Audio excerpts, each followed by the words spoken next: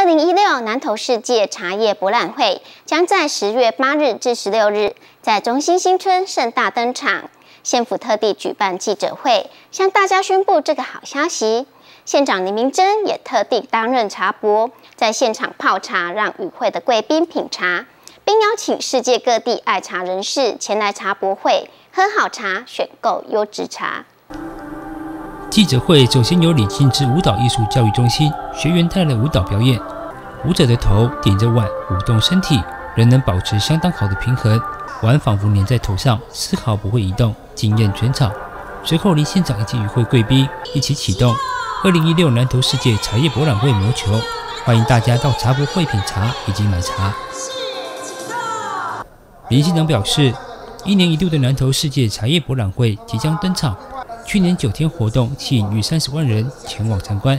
活动相当成功。今年迈入第七个年头，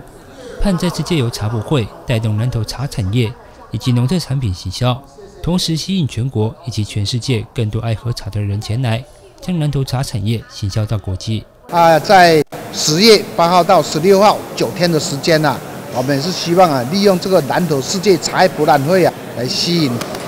观光客。然后带带动啊，我们茶叶的促销啊。那么去年呢，我们九天的时间呢，就有将近三四万人啊，来到我们南投县啊，尤其啊，对茶的销售啊，哎，会带来非常好的成绩啊。那么我们这些茶农啊，来到哎这个优良的茶农啊，到现场啊，来来服务啊，来提供最好的茶，来给我们这些观光客喜爱茶的哈，来让他们品尝啊。啊，大家都依照他们的口味啊啊来来买他需要的茶。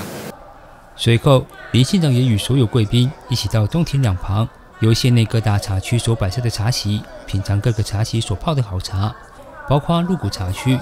民间茶区与水里茶区等八大茶区。